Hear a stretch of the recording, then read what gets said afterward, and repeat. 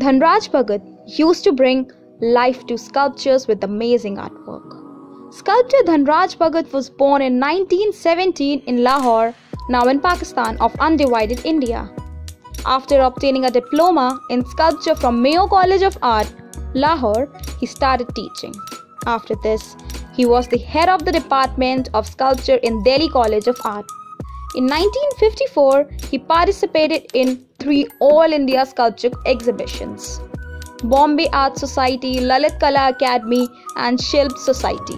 His sculptures made of wood and stone seemed to be alive. He was also proficient in painting and was awarded the Padma Shri in 1977. He died in 1988.